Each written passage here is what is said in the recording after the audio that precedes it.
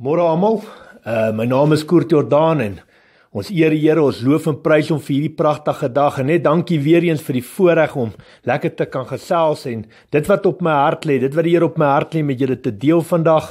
Um die Here is al 'n rukkie wat die Here hierdie saak ook op my hart druk en um ons praat vandag oor skuld. Skuld soos jy hom ken wat jy mense skuld wanneer jy gaan klere koop of wanneer jy karre koop en huise koop. Uh die skuld wat jy mense skuld as jy op rekening koop. En ek wil vandag vir jou sê die woord skuld is die woord. Die woord beteken wat dit sê dat skuld beteken jy het nie geld nie. En dit beteken ook dat uh jy nie genoeg geld het om te koop wat jy wil koop nie. En ja baie mense van ons word gedryf deur gierigheid en uh, wat ons baie keer hals oor kop besluite maak. En jy teken jouself vas en ja uh mense uh, mense op daai spesifieke oomblik verstaan jy nie altyd die risiko waarin jy jouself sit nie want ja 'n mens is 'n mens en ons hou daarvan om in beheer te wees en ons dink natuurlik ons is altyd in beheer maar Spreuke Spreuke 16:9 sê die Here dat ons beplan ons pad maar God beplan ons weë en dis absoluut absoluut die waarheid. Ek wil vandag vir elke broer en suster wat vandag na my luister wil ek vandag leiding gee en weer eens uh, kan ek praat want ek was self in my lewe daar wat ek regtig uh die die die die ondervinding wat ek het en wat ons self deur baie baie moeilike tye gaan het, wil ek graag vandag na elke kind toe bring en ek wil graag na elke pa en elke ma, elke persoon hier buitekant wil ek vandag gesels en my vermaaning wat ek bring is om weg te bly van skuld. Ek wil vandag vir julle vertel Ek het self 'n jong man wat uit die skool uit gekom het en ek het baie baie hard gewerk. Ek was 5 jaar op die lang pad wat ek trokke gery het en uh, ek was be baie bevoorreg om om om uh, die, baie van die Afrika lande te sien en dan ook uh, baie uh, in in Suid-Afrika te ry. En weet julle wat ek het ek het uh, dit seker vir 5 of 6 jaar in my lewe gedoen en toe is ek getroud op die einde van die dag en ek het nog hard gewerk. Ek het uh, uh, liewerste uh, weet ek het van die lang pad afgekom en ek het lokale werk begin doen en weet jy wat ek en my vrou het koppe bymekaar gesit en ons het 'n uh, uh, geld gaan leen om 'n besigheid te begin. Ek het kontrakte gekry. Ek was in die vervoerbedryf wat ons nuwe karre vervoer het en op die einde van die dag ook deur familielid was ek baie baie geondersteun. Maar so het ons op ons voete gekom en dit het swaar gegaan.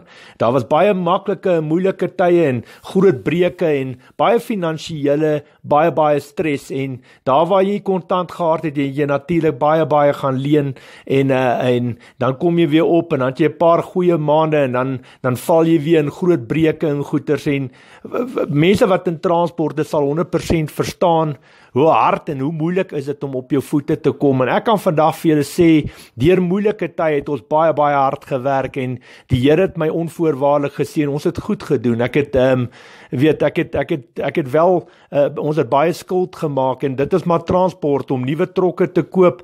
Ek was geseënd om op die ouene van die dag 5 trokke te gehard het op die stadium wat ek ehm um, alles verloor het. Maar ek het hard gewerk en ehm um, op die einde van die dag die Here het my baie geseën. Ek kan nooit omdraai en sê die Here het my nie geseën. Ek was baie baie geseënd gewees en dit was lekker om te weet jy dit uit jou eie uit bereik. Jy het hard gewerk.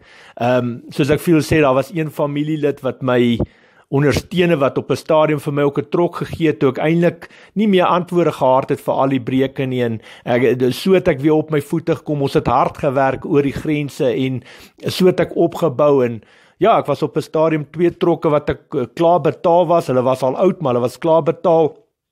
En so die lewe nou is gooi hulle altyd gooi die lewe 'n wortel na 'n ou se kant toe en uh, jy het goed gebou vir 'n ja, ja vir 2 of 3 jaar en uh, ek het ek het besluit nee toe druk hulle my met kontrakte by die werke want ons vervoer Mercedes'e en Volkswagens en hulle sê nee ons moet nuwe trokke kry ons werk met groot waardes groot risiko's en 'n uh, ou gaan druk jou kop in en jy gaan koop die eerste trok die tweede trok en so gaan jy aan en ek het op die einde van die dag opgebou tot 5 trokke en ek was so geseën. Die Here was so goed vir my.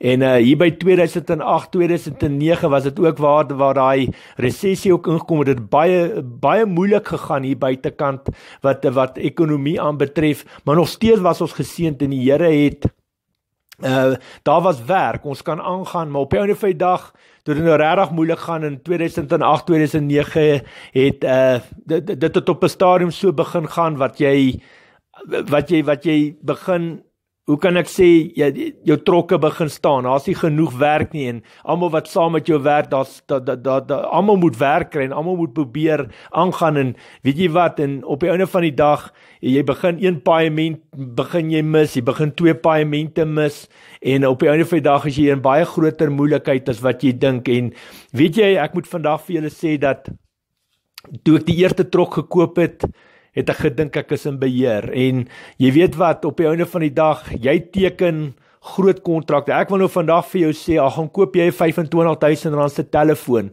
of gaan koop jy 5 of 7000 rand se klere, gaan koop jy 5 of 700000 rand se kar of jy teken vir 20 jaar teken jy 'n kontrak wat jy skuld aangaan vir 'n huis. Wil ek vandag vir jou sê jy dink jy's in beheer, jy's glad nie glad nie in beheer nie en ek moes dit in my lewe op 'n harde harde manier gaan leer. Op die einde van die dag ek dink die die die die die die doodskoot in my eie besigheid is toe daar twee karre in die middel van Durban ehm um, twee karre van my trok afgesteel was en die versekerings het nie uitbetaal nie en ja ek kan onthou ek het nog daai Augustus daai Oktober maand net dit dit dit het Desember gebeur maar daai Augustus daai Oktober maand daar het ek nog 'n splinter nuwe trok nog ingekry nog eers behoorlik nommerplate opgehard nie. En ja dit vat jy weet as jy trokke koop mense wat weet wat in transport is jy moet partykeer tot 120 150 000 rand neersit. En die kapitaal was net alles. Ons het so hard gedruk en jy werk so hard om om om 'n sukses te maak en op die einde van die dag dan kom die lewe en verstaan jy die wortel wat Satan voor jou neus gegooi het kom en hy ruk die mat onder jou uit. En soos ek vandag vir julle sê ek het 'n les daar uitgeleer en die les wat ek moes geleer het uit alles. Ons moes alles ek en my gesin en familie het alles in ons lewe verloor en ehm uh, Dit was 'n ongelooflike moeilike pad. Ons trek al by 2018, maar dat ek vir julle sê uh tot hier by 2013 voor ek my lewe vir die Here gee het, was dit baie baie op en af. Dit was baie baie moeilik want jy jy sit dag en nag met skuldeisers. Kyk terwyl jy betaal is jy die beste par aan die vlei tot jy nie meer kan betaal nie. Dan kom jy agter hoe erg en hoe hard hierdie wêreld hier buite is en dat ek vir julle sê um my my attitude op daai tipe stadium dit is nie maklik om so te val jy het so hard gewerk vir alles en jy jy's so moedeloos en jou attitude wat jy het is as mense jou in die rug kan steek en mense kan so kom en en en, en goeder van jou trok afsteel of dit nou 'n wit of 'n swart man is of wie dit ook al is dan dan dan jy het so hard gewerk vir alles en hier kom 'n ander persoon en hy kom en hy kom en hy kom steel uh, van jou en hy en, en hy maak ook al dat jy op die einde van die dag alles in jou lewe verloor. En dat ek vandag wil sê ek was baie verbitterd in my hart. Ek was baie seer gemaak eh, baie sweet uh, baie baie harde werk wat in daai besigheid ingegaan het om op die einde van die dag my attitude wat ek gehad het vir seker so 2 3 4 5 jaar daarna tot ek tot bekering gekom het was luister hierso hulle het my besigheid kom vat of dit nou swart man of wie dit ook al is ek moes daai nok vat. So die mense vir wie ek ook al geld skuld hulle moet saam met my daai nok vat. Ek het nie 'n saak met hulle het my mal gebel hoeveel keer by ons huise ingekom wat hulle wil meubels opskryf en jou jou dagvaar en hulle bel my nou nog bel hulle mens mal. En ek wil vandag vir julle sê dat my my my attitude volgens ons Christelike geloof was totaal en al verkeerd. Die dag toe ek tot bekering kom en die Here vir my kom leer dat Maak nie saak wat 'n ander mens aan jou doen, jy kan nie kwaad vir kwaad vergeld nie en dat jy nog steeds bereid moet wees om te vergewe. Matteus 6 vers 14 15 wat die Here sê as ons ander mense nie kan vergewe nie, kan God ons nie vergewe nie. Maak nie saak wat dit daar gebeur, hierdie ongeregtigheid wat daar plaasgevind het en op die einde van die dag alles wat ek moes verloor het, ek moes daai mense vergewe het wie dit ook al is. God en God ken hulle name, God het hulle geskape, hy sien, hoor en weet alles. Maar op die einde van die dag Ja, die besigheid se skuld is moeilik. Jy kan nie dit alles op jouself dra nie en die meeste besighede of banke goed skryf dit in elk geval af na hulle die trokke kom vat het en dan dan verkoop dit en die res van die geld skuld eh, skuld uh, skryf hulle af. Maar op die einde van die dag, jou persoonlike skuld, daar was baie lenings wat ek gehad het omdat ons so ook maar breuke gehad het en soms ongelukke en enige persoon wat in transport is sal verstaan Dit is nie 'n maklike game nie. Dis 'n harde, harde, harde werk hier buitekant, maar jy geniet dit. As dit jou liefde is, geniet jy dit. En ek wil vandag vir jou sê my my my attitude of ek nou in die hof gaan staan het of nie my attitude was luister ek betaal julle nie ek moes dit nog gevat het deur 'n ander persoon wat leed aan my kom doen het so julle moet ook vir jouself kry en weet jy op die einde van die dag het die Here vir my kom leer dit is nie hoe dit werk nie weet jy wat Ag gaan jy na elke persoon toe of jy skryf hulle 'n brief en jy offer hulle 50 of 100 rand. Terwyl jy betaal terwyl jy probeer terugbetaal aan die skuld wat jy ander mense skuld waarvoor jy natuurlik geteken het jy daai verantwoordelikheid gevat. Jy het geteken daarvoor en ehm um, dan moet jy daai verantwoordelikheid vat. En weet julle wat ek het elke persoon wie ek geld skuld of die meeste wat my nou nog dagvaar of wat ek geld geskuld het het ek 'n 100 rand 'n maand geoffer en Weet julle wat, hulle dit aanvaar? Ja, hulle wil natuurlik meer hê, maar op die einde van die dag as ons hof toe gaan, is die wet aan my kant want ek het nie regtig 'n vaste werk nie. Ek doen nie die werk van die Here. Dit is dit is waar die Here het my opgeroep vir hierdie werk en dit gaan nie oor jy kry salarisse nie. Dit gaan nie oor geld nie. Hierdie werk in die eerste plek kan jy nie vir geld doen nie. Anders het jy dit klaar verloor. Dit gaan oor die werk van die Here en op die einde van die dag ja, wat wat kan 'n mens doen? Jy jy wil jy moet positief wees en jy moet die wêreld in die oë kyk. En ek wil vandag vir julle sê dat ek dink hier's baie mense vandag wat saam met my kan praat en wat wat miskien dieselfde foute gemaak het as wat ek gemaak het. En ek wil vandag vir jou sê as jy iemand skuld vir 'n kar wat jy terugbetaal of jy het nie jou klere rekeninge betaal nie of jy skuld mense geld wil ek vandag vir jou sê weet jy wat? Gaan en maak 'n offer van 'n 50 of 'n 100 rand as jy kan. Want weet jy wat op die einde van die dag Satan gaan daar bo in die troonkamer kom hy in en hy kla jou aan. Dit is niks op die einde van die dag as diefstal as jy jou skuld nie kan terugbetaal nie. Satan kla jou aan of jy dit wil hoor of nie. En op die einde van die dag om daai regte van Satan te breek, moet jy dit natuurlik bely dat jy foute gemaak het, dat jy daai tipe attitude het en wat jy mense nie terugbetaal nie. Jy moet dit bely aan die Here en dan offer jy daai mense natuurlik 100 rand en terwyl jy jou skuld terugbetaal kan Satan nie in die troonkamer inkom en hy kan jou dagvaar of hy kan jou aankla nie. Verstaan jy? Dis baie baie belangrik. Ek moes dit op 'n harde manier in my lewe geleer het. Ek kon ek heel moontlik my lewe nog makliker gemaak het na hierdie moeilike pad wat ons as huisgesin gestap het. En ehm um, So die Here my ook gelei en my geleer dat ek vandag uit my eie ondervinding met julle mense kan praat en ek kan vandag vir julle leer. En ek wil vandag vir julle sê dat ehm um, vir God is dit belangrik dat julle sal besef en julle sal weet dat om op skuld te lewe kom glad nie van hom af nie. Daar's daar's hulle noem dit die Illuminati, die geldmag mense wat geld uitleen teen baie baie groot rentes en op die einde van die dag, ons gaan vandag kyk die waarskuwings wat die Here vir ons gee en ek moet vandag vir julle eerlikwaar sê op daai stadium in my lewe het ek geweet van die Here maar ek het hom nooit persoonlik geken nie.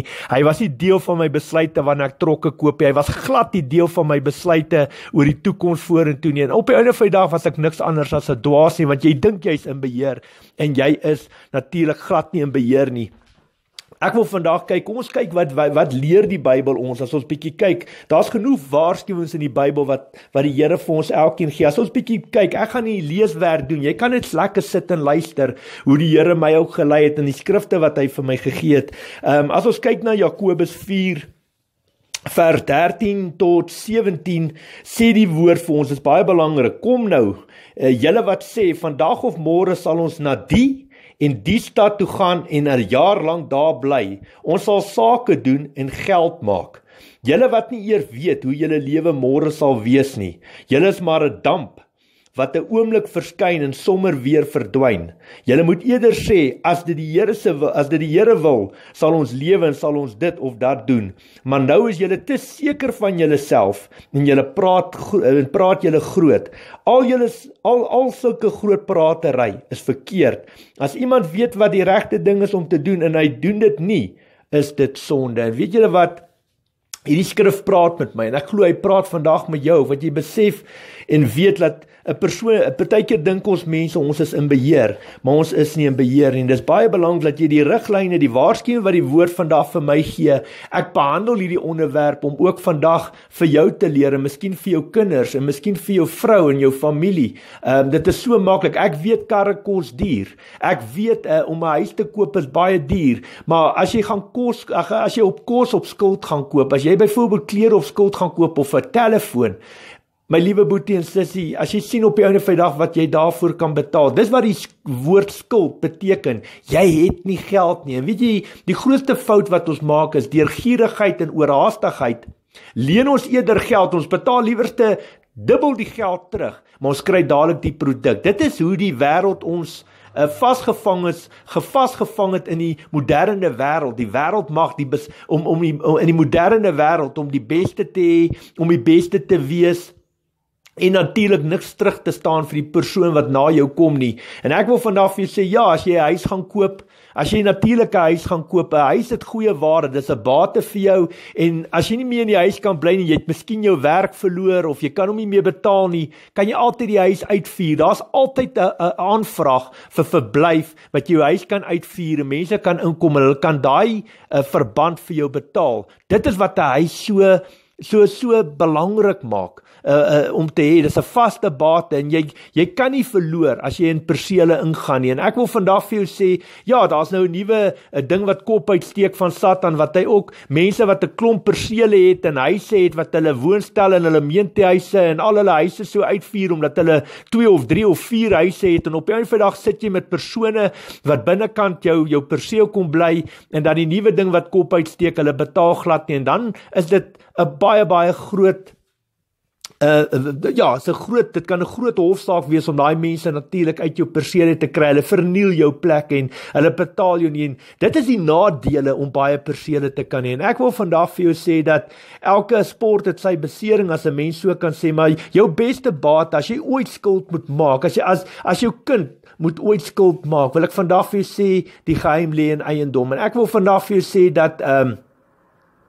Ongelukkig as jy kyk wat kos huise deesdae hier buitekant, is dit baie baie min kinders wat uit matriek uitkom en 'n huis kan bekostig as hulle nie geseënd is om verder te gaan gaan studeer vir dokters en prokureurs en en rekenkunde reken ja, reken rekenaarvaardigheid en uh, uh, ja, hoe kan ek sê as hulle hierdie groot beroepe gaan doen nie en wat hulle groot salarisse kry nie, weet ek nie hoe gaan ons kinders opstaan nie. Om die waarheid sê, ek dink Uh, die huispryse is totaal en al uit verband uit geruk. Ek ek dink ons mense word baie baie ongelooflik baie uitgebuit en op die einde van die dag, jy sit met eiendomsagente wat hierdie pryse ja, want as hy 'n 50000 hier maak of hy maak 'n 100000 daar of hy maak sommer 300000 rand op 'n deal, so jaag hulle die pryse op boontoe op die einde van die dag Die gewone man op straat gaan nie meer daai huise kan bekostig nie. En ek wil vandag vir julle sê, as jou as jou kind of wanneer jy in 'n posisie is om ooit skuld te kan maak, as jy regtig wil skuld maak, maak dit dan op huise, want jy kan 'n huis nog ten minste uitvuur, maar op 'n kar, deesdae ry jy net uit by 'n winkel En daai kar net as jy uitgered het, hy klaar 50000 rand geval. En uh, baie van ons mense op die einde van die dag, ek ook, ek het self groot karre skuld gehad. Ek het daai kar seker vir amper 3, 4, 4 jaar het ek uh, het ek afbetaal op die kar en op die dag toe ek begin agter raak het, um, die banke wil nie jou nonsens hoor nie. Hulle wil nie jou storieetjies hoor nie.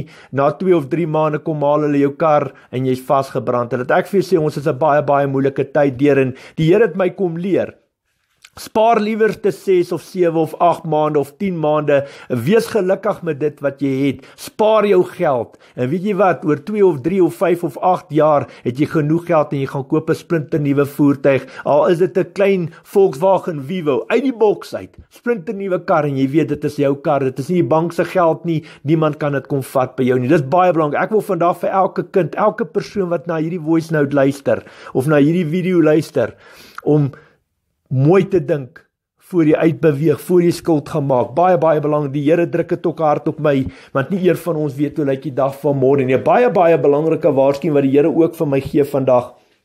Is Matteus 5 vers 33 tot 37. Ek lees dit vir julle. Verder het julle gehoor dat daar van die ou tyd af aan die mense gesê is jy mag nie jou eed verbreek nie en 'n eed in die naam van die Here moet jy nakom. Maar ek sê vir julle, moet glad nie 'n eed af lê nie Nie by die hemel nie, want dit is die troon van God, nie by die aarde nie, want dit is die rusplek vir sy voete, nie by Jerusalem nie, want dit is die stad van die groot koning. Jy moet ook nie jou kop op die spel plaas as jy eet af lê nie, want jy kan nie een haar wit of swart maak nie. Laat julle ja eenvoudig ja wees en julle nee nee. Want meer gesê word as dit kom van die bose. En weet jy, hier gee die Here vir ons leiding wat hy sê Bly weg van die eet af. Jy weet ons stap so vinnig in en ons teken 'n 20 jaar kontrak. Ons stap so vinnig in en teken gou 'n 5 jaar kontrak want ons dink ons is in beheer. Ek het ook in beheer. Toe ek daai 5 trokke koop, toe ek die eerste trok koop, het ek gedink ek is in beheer. En dit wat ek vandag vir jou sê, ons praat nie hier van 10 rande nie. Ons praat van van honderde duisende rande, van miljoene rande. En laat ek vir jou sê, jy sal nie 4, 5 trokke koop en die banke keer jou goed as jou naam sleg is nie. Jy sal nie met AMG Mercedes en goedes ry as as as as die banke nie dink jy's 'n goeie kliënt. Jy laat ek vir jou sê daai tye het ek gedink ek is in beheer en ek is nie in beheer nie. En ja, ek het vaste eiendom gehad, maar die dag toe die die die popo die fan strike en uh, alles val uit en alles is 'n gemors omdat die versekering my uit het. Ek kon ek kon glad nie daai daai daai ehm uh, hoe kan ek sê daai slag op my, daai nok soos hulle sê, kon ek nie hanteer dit nie. En weet julle wat? Op 'n vandag ja, hulle het die eiendom gevat. Daar was 'n klomp kapitaal nog daarin en daai wins het jy nie gesien nie. Hulle het natuurlik daai wins ook gevat. En weet jy wat? Alles wat daardeur gaan, alles wat jy ook verloor is jare se polisse wat jy betaal het vir jou vrou en jou kinders. Jy's mos in beheer. Jy jy neem polisse uit en jy kyk jou lewe ver vooruit. Dis waar jy jouself sien in 10 en 20 jaar. Dat ek vandag vir jou sê, dit is nie so maklik nie. Die lewe, die mat kan binne sekondes die voete uit jou uitdruk en dis dis die rede hoekom ek vandag hierdie voice met 'n voice note maak want ek wil julle leer. Ek wil hê julle moet luister vandag. En ja, ons gaan kyk na die belangrike riglyne wat die Here vir ons gee vandag. Ek eer die Here vir die voorreg om dit ook met julle te kan deel. Uh die volgende skrifte wat ek vir julle gaan lees, dis baie baie belangrik. Dit is die riglyne wat God vir my in die woord gee. Sekere riglyne wat ek graag met almal wil deel vandag. Maar dit is baie belangrik dat ons sal besef dit, dit, dit jy gaan miskien nie nou verstaan wat ek sê nie, maar jy gaan verstaan terwyl ek deur hierdie skrifte werk wat die Here vir my leer wie is jou broer en wie is jou suster in die Here Jesus Christus. Ek wil vandag vir jou sê dit is baie belangrik dat jy sal besef wie is jou broer en wie is jou suster in die Here Jesus Christus. Dit is nie noodwendig die persoon wat dieselfde velkleur as jy is nie. Dit is nie noodwendig die persoon wat dieselfde taal praat as jy nie. Hoor wat sê wat leer Jesus Christus ons in Matteus 5 Ag Matteus 12 vers 46 tot 50. Luister mooi wat Jesus Christus hier sê. Kyk mooi in gees wat in hierdie omstandighede gebeur. Terwyl Jesus nog besig was om met mense te praat, het sy moeder en sy broers buite gestaan en hulle wou met hom praat. Iemand sê toe vir hom: "U moeder en u broer staan daar buite en wil met u praat." Maar hy sê vir die man wat dit vir hom gesê het: "Wie is my moeder en wie is my broers?" Toe wys hy met sy hand na sy disippels en sê: "Daar is my moeder en my broers. Hoor mooi. Elkeen wat die wil doen van my Vader wat in die hemel is, die is my broer en my suster en my moeder. Baie baie belangrik. So dit gaan alles oor wie die wil van die Here doen. Die woord sê ook, nie almal wat wat help dit julle noem my Here Here en julle gehoorsaam nie my woord nie. Dis wat dis wat in die woord staan en as jy werklik lief is vir Jesus Christus, sal jy Jesus se woorde gehoorsaam. Baie baie belangrik belangrike belangrike lewensriglyne en waarskuwings uit God se woord wat ek vandag met julle gaan gaan deel en ek wil regtig hê dat julle saam met my sal, sal luister. Ek sal dit lees en julle is baie baie welkom om ook uh, daar deur te gaan en en self ondersoek te gaan doen en mooi luister wat wat die woord van die Here ons leer en so die Here my ook kom leer en so wil ek vandag dit wat die Here op my hart lê wil ek wil ek spreek en ek wil dit met ek wil ek wil ek wil dit regtig laat dit op julle harte gaan lê en dat julle die woorde sal aanhoor en wat jy daarvan maak is natuurlik jou eie saak. Jy het keuses in die lewe. My werk is om te praat en te waarsku of jy natuurlik luister of nie. Maar hoor hierdie baie baie belangrike in God se skrif. Uh die die woord leer vir ons ons moet die borg staan. Alraai, so moet nooit vir niemand bors staan of dit jou kind, jou oupa, jou familie is, maak nie saak wie dit is nie. Luister mooi die Bybel waarsku. As ons kyk na Spreuke 11 uh, vers 15 sê die woord, luister baie mooi. Dit gaan sleg met hom wat vir iemand borg staan.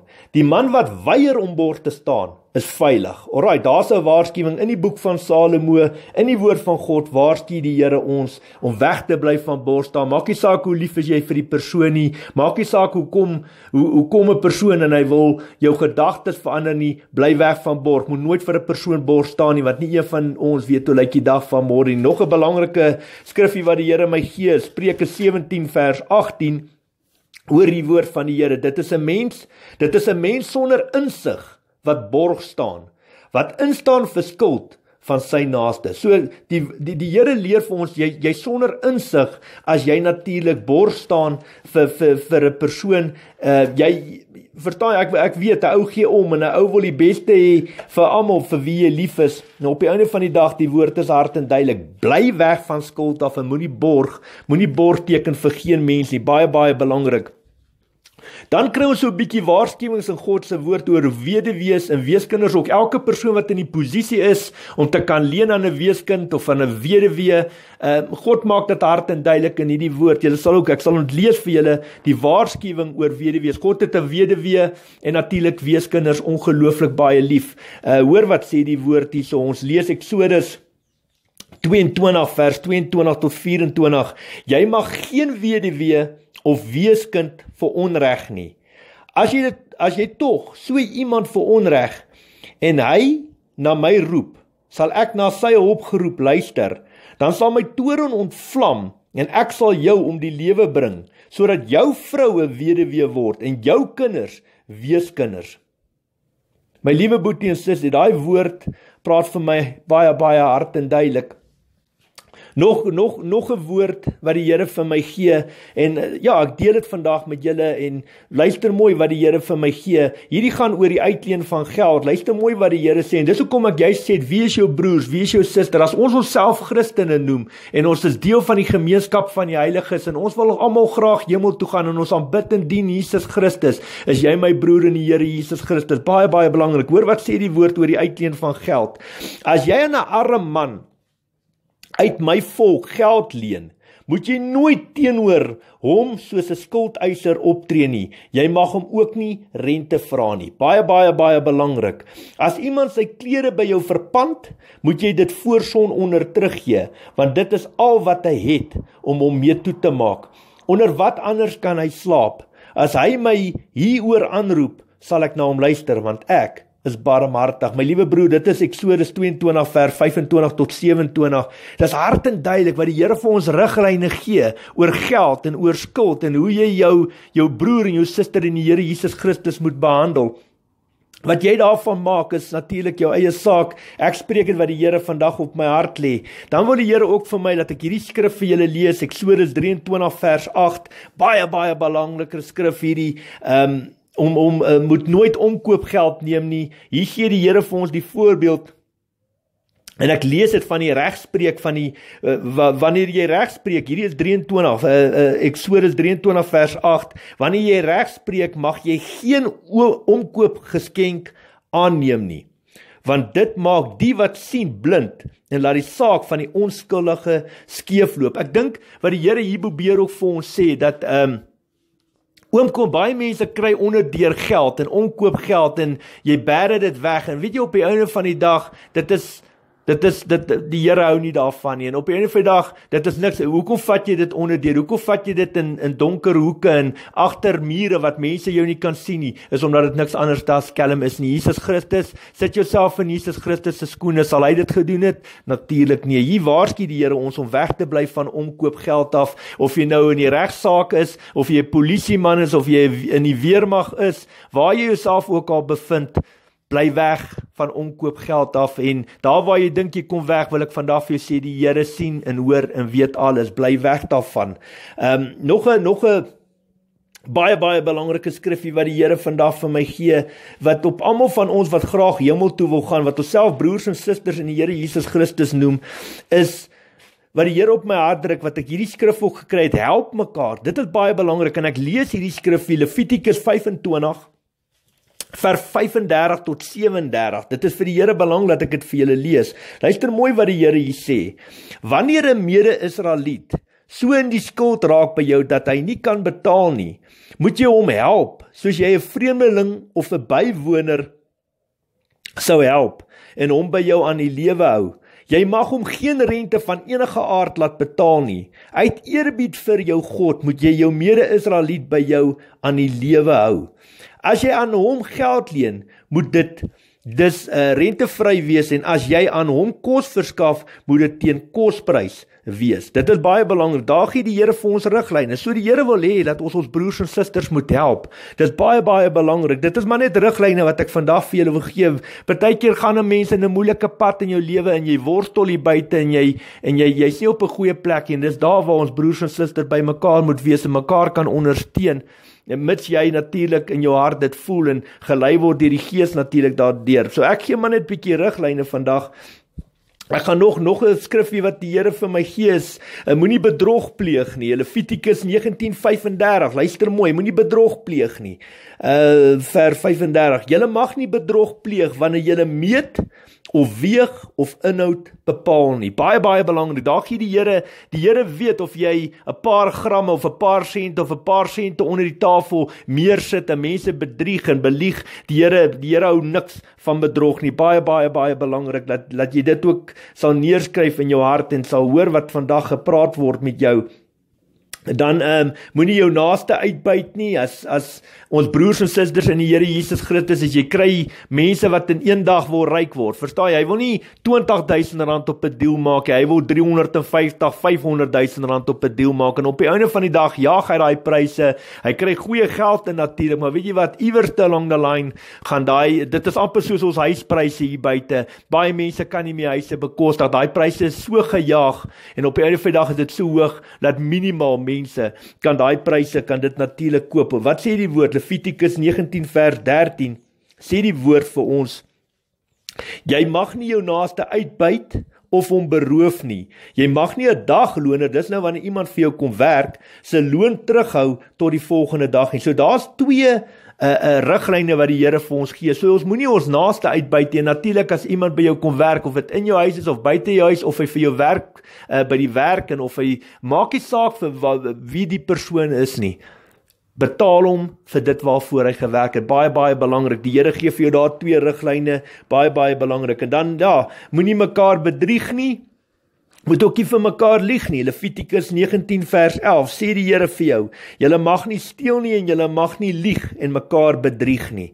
Alraai, baie baie belangrik dat daar's 3 3 waarskuwings, 3 riglyne wat die Here vir jou sê: "Jy mag nie steel nie, jy mag mekaar nie vir mekaar lieg en mekaar bedrieg nie, want dit is nie deel van naaste liefde nie." Verstaan jy? Ehm um, jy moet be, be, besef en jy moet weet dat ons saam broers en susters in die Here Jesus Christus is. Watter gees is in daai persoon? Die Heilige Gees. Jesus Christus is binne daai persoon Hy's binne jou as jy opregte Christen is en Jesus gaan ons nie vir 'n ander Jesus lieg nie. Verstaan ons is saam kinders van die Here en dit is hart en duidelik. 'n Boom word natuurlik aan sy vrugte geken. 'n Goeie boom kan nie slegte vrugte dra nie en 'n slegte boom ook nie goeie vrugte nie. En dis hoe Jesus Christus ons geleer het om te onderskei.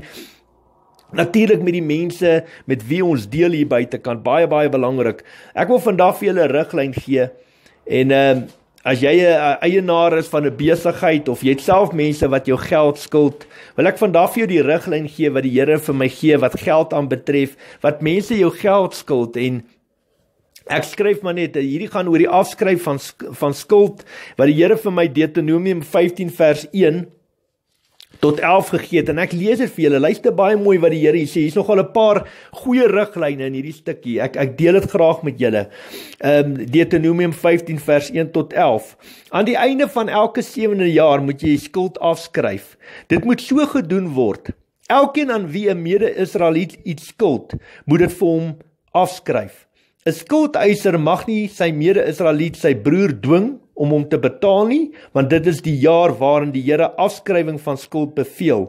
Jy mag wel 'n nie-Israeliet dwing om sy skuld te betaal, maar as 'n mede-Israeliet jou iets skuld, moet jy dit vir hom afskryf. As jy maar net luister na die Here jou God en gehoorsaam is aan al hierdie gebooie wat ek jou vandag gee en daarvolgens lewe, sal daar nie 'n arme onder julle ag onder jou wees nie, want die Here sal jou baie voorspoedig maak in die land wat hy jou gee om as jou eie te besit. Dit dit so die Here sê, weet jy wat? Hy weet, die Here weet dit is vir jou moeilik om geld af te skryf. Niemand van ons het geld om rond te gooi nie, maar hier sê die Here vir jou: "Luister na my woord, volg my riglyn en jy sal voorspoedig wees. Die Here sal jou seën vir die hart wat jy wys van liefde wat natuurlik 'n uh, uh, God se keuse is in sy riglyn en sy woord. Die Here jou God sal jou voorspoedig maak soos hy jou beloof het en jy sal aan baie nasies kan uitleen sonder dat jy self hoef te leen. Jy sal oor baie nasies heers, maar oor jou sal hulle nie heers nie. As daar in een van die dorpe in die land wat die Here jou God aan jou gee, 'n arme is, 'n mede-Israeliet, moet jy nie hard en synig wees teenoor so 'n broer van jou wat arm is nie. Wees vrygewig teenoor hom en leen hom wat hy nodig het. Moenie sondige gedagtes herberg en dink dit is nie goed om jou broer wat arm is te help nie, omdat die sewende jaar die jaar van afskrywing op hande is nie. Hy mag hom teen jou op die Here beroep en jy sal skuldig staan. Gee vrylik aan jou broer wat arm is en moenie sleg voel omdat jy vir hom gegee het nie, want juis omdat jy vir hom gee, sal die Here jou God jou voorspoedig maak in alles wat jy doen en aanpak. Dis 'n pragtige skrif daai. Uh, daar sal altyd armes in jou land wees en daarom het ek jou beveel om vrygewig te wees teenoor jou mede-Israeliet wat in nood is en arm is. My liewe boetie en sussie, nou gaan jy vir my seker sê, "Koert, maar nie almal is my broers en susters in die Here Jesus Christus." Ek stem saam. Maar dis hoekom daar kerke is. Dis hoekom hoekom mense bymekaar kom. Dit is hoekom ons kerk toe gaan want dit is die gemeenskap van die heiliges. En weet jy daar waar mense deur moeilike tye gaan dit is daar waar ons mekaar moet bystaan. Die kerke kry offerandes en die kerke kry tiendes in en dis waarvoor hy geld moet gaan om om om mense wat regtig vashou aan die Here wat se geloof in die Here gefestig is om uit te reik. En natuurlik na God se stem te luister. Jy moet kan luister as mense aan jou toe kom en hulle het 'n behoefte of daar's nood, moet jy natuurlik gaan bid oor die situasie wat op jou pad geplaas is. Jy moet die Here vra, hoe moet die geld, hoe moet sy fondse bestuur word? Want daai geld wat in die kerke inkom, dis nie jou geld nie. Uh dis nie die kerk se geld nie, dis die Here se geld. Alraight. En as jy as ons lees, daar was 'n man Judas uh, wat Jesus op die einde van die dag verraai het en weet julle wat? Hy het self lang vingers gehad. Hy het self uh, uh, met die met die met die beursie gewerk en uh, met Jesus hulle se beursie met die bediening toe Jesus op aarde was en sy linge sy vingers was ook lank. Maar ek wil vandag vir jou sê die Bybel praat ook daarvan dat sy vingers lank is en dat ek vandag vir jou sê wat niks anders as diefstal is nie. En ek wil vandag vir jou sê as jy geseënd is om met met die Here se geld te kan werk wil ek vandag vir jou sê Ken die Here in al jou weë en hy sal die paaie vir jou gelyk maak. Jy moet sy stem kan hoor. Hy moet jou stuur wat met daai geld gebeur want dit is nie jou geld nie, dit is die Here se geld. Baie baie baie belangrik. Maar die riglyn is hard en duidelik in die woord dat wat God van ons verwag en wat hy vir ons sê in die woord wat baie baie belangrik. Ons lees in 'n skrif uh ja, 1 Johannes 3 uh vers 16 en 17 is nogal interessant te skryf wat die Here sê hieraan weet ons wat liefde is. Jesus het sy lewe vir ons afgelê. Ons behoort ook ons lewens vir ons broers af te lê.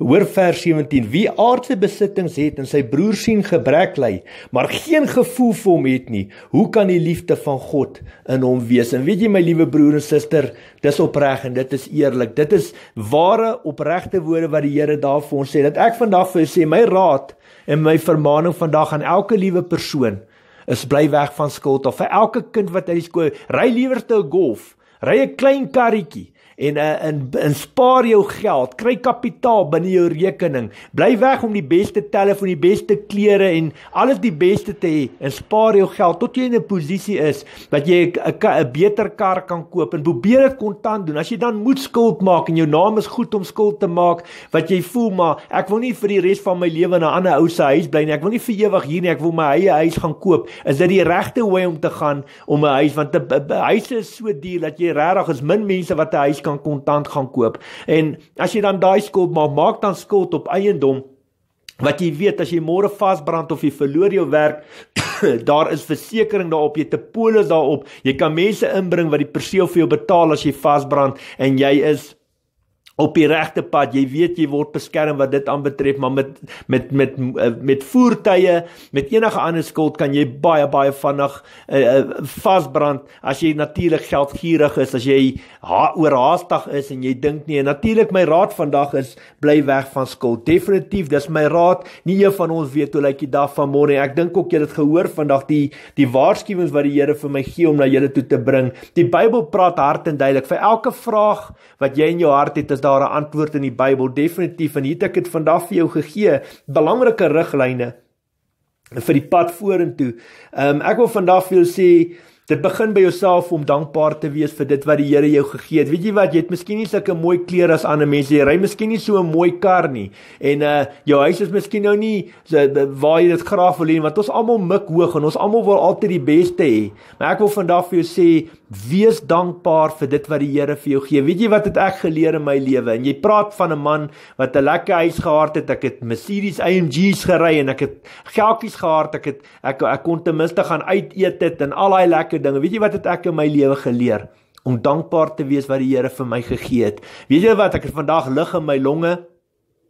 Ehm um, ek het 'n dak oor my kop, ek het kos om te eet en ek het 'n familie wat my bitterlik liefhet en ek het natuurlik my Vader in die hemel wat my bitterlik liefhet en ek sien ander dinge in die wêreld wat meer belangriker is as natuurlik waarvoor die meeste van ons mense ons baie baie van ons mense so gemik op die wêreldse besittings. En ek vind daar vir sê Kolossense 3:2 sê die Here ons moet ons oë gefokus hou op die dinge van die hemel. Jou gedagtes gefokus hou op die dinge van die hemel. Dit wat jy hier voor jou sien is net tydelik my boetie en sussie dis nie vir ewig nie. Jy kan dit nie saamvat hemel toe nie. En ek wil vandag vir jou sê as jy ooit in 'n posisie is om 'n verskil te maak hier buite. As jy finansiëel sterk is, wil ek vandag vir jou sê ryk uit.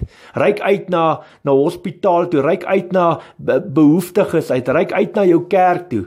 Weet jy wat? Jy kan 'n verskil maak en jy kan dit beter maak hier buite. Ons hoef nie in dieselfde stroom te swem as wat die goddeloses en die heidene swem nie. Weet jy wat? Ons is anders. Ons is kinders van die Here en ons kan daai liefde uitstraal na buite toe. Al is dit jou vyand, die woord sê gee hom water om te drink, gee hom kos as hy honger is. Op so 'n manier maak jy hom vuur rooi van skaamte. Onthou dit altyd as jy in die posisie is Maak 'n verskil hier buitekant. Maak 'n verskil. Bring jou tiendes na die kerk toe of gaan hospitaal toe of gaan koop klere, gaan koop kos vir armes. Jy hoef nie noodwendig geld te gee nie.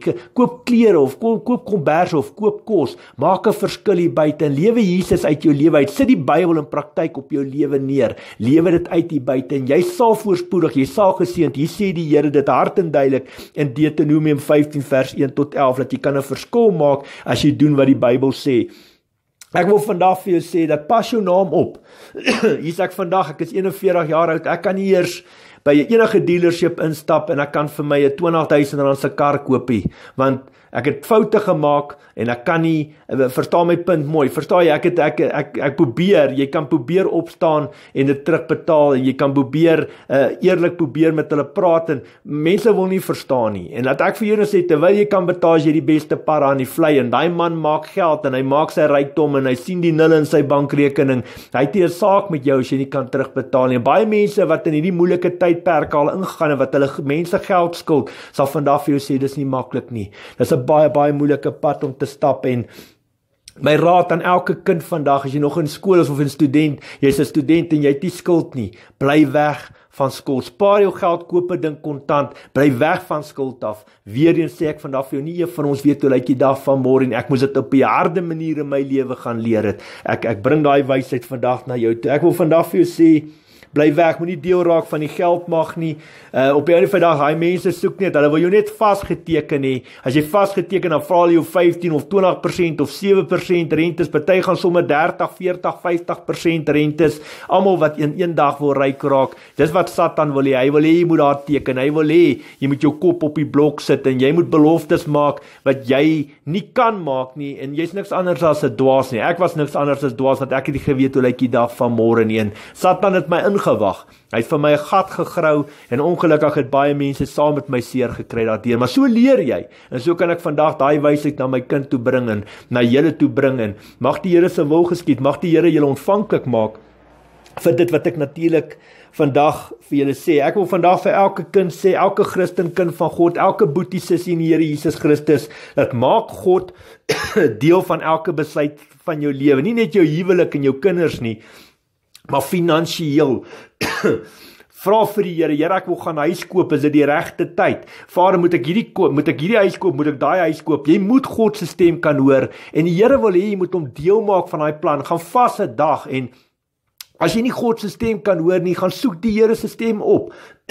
dat hy jou in suiwerheid en heiligheid gaan bely jou son, dat jy in suiwerheid en heiligheid dat jy God se stem kan hoor, dat hy jou kan stuur, want die Here weet hoe lyk die dag van môre en vandag in my eie lewe. Dis die dit is dit is hoe kan ek vir julle sê Die oorwinning wat ek beleef het is ek het tot bekering gekom. Um, ek is geseën met soveel pragtige geestelike gawes wat ek van die Here en die grootste voorreg ek kan God se stem hoor en ek kan 'n pad saam met die Here stap en as ek nou uit my huis uit beweeg dan weet ek klaar waar moet ek gaan. As ek uit my huis uit beweeg het die Here klaar vir my gesê wat is die pad vorentoe. As ek moet bid oor die pad, moet ek hier iets doen, moet my kinders hier uitgaan, moet ek hier geld uitgee. Die Here gee vir ons almal daai leiding en dit is 'n absolute voorreg om hom deel te maak die fondament van jou huis huisgesin te maak. Dis absolute eer en 'n voorreg en ek sal dit natuurlik vir almal Ja, ek sal dit voorstel vir elke Christen kind van God om te sorg dat jou pad met die Here reg is, nader tot God en hy sal homself deur jou laat vind. Onthou die woord sê 'n baie belangrike skrif: Soek allereers die koninkryk van God en die res sal vir jou gegee word. Dis wat die Bybel ons leer. Ongelukkig lewe ons in 'n wêreld wat ons eers alles wil hê en dan wil ons die koninkryk gaan opsoek en ek is 'n direkte voorbeeld daarvan en ek het baie baie hard geval uh, my boetie en sussie. Ehm um, dit is nie 'n maklike pad om te stap nie, maar vandag gebruik ek my eie lewe as 'n bytel in jou lewe en ek bid vandag en ek vertrou dat die Here die woord wat ek vandag spreek op jou hart sal neersit. Maak nie saak hoe wel af jy is nie.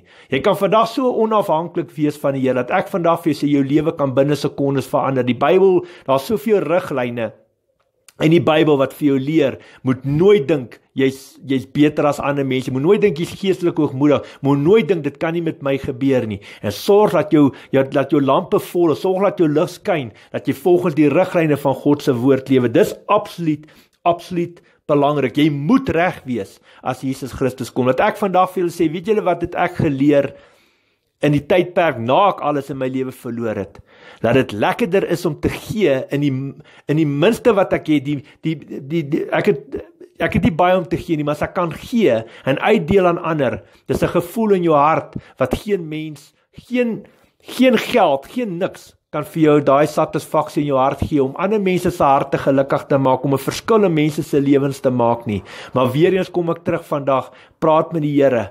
Maak hom deel van jou besluite en jy sal die vrug van jou werke dra. En ek wil vandag vir julle elkeen sê dat ja, jy moet jy mense werk hard. Die Here sê ook in die sweet van jou aangesig sal jy jou brood verdien. Dis waar. Ons werk baie baie hard. Baie mense verdien baie baie groot salarisse en baie vir, werk baie hard vir min salarisse.